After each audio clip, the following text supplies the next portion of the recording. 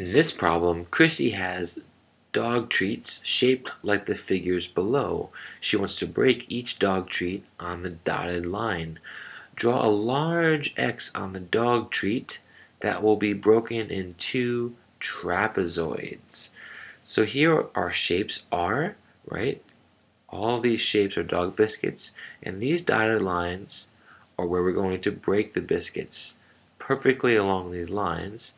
And the goal is to find out which of them are trapezoid.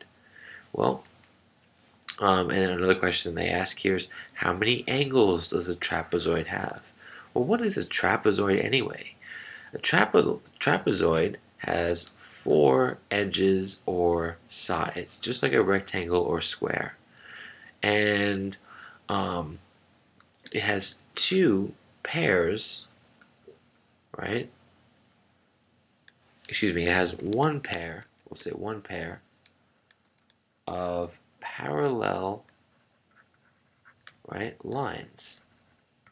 So for example, here, this is a quadrilateral. Why? Well, we have one, two, three, four sides, and this line and this line are parallel. That means they'll never hit. Notice the other two lines are not. I mean, they do stop in the shape, but if we extend them, they would cross. But with the red lines, even if we extend them in both directions, they'll never actually hit each other. That's because they're parallel. So here I see a similar shape in the first one, right? Because it forms a trapezoid here and a trapezoid here. In the triangle, we fold that in half, right? We have two triangles. So that one's out. Here, right, we have more than two sets of parallel lines, so I wouldn't call it a trapezoid. Here, right, there are sets of parallel lines, right, but again, this is not a trapezoid because it has more than four sides. So this is not a trapezoid. In fact, the only one I find here as being a trapezoid is this one right here.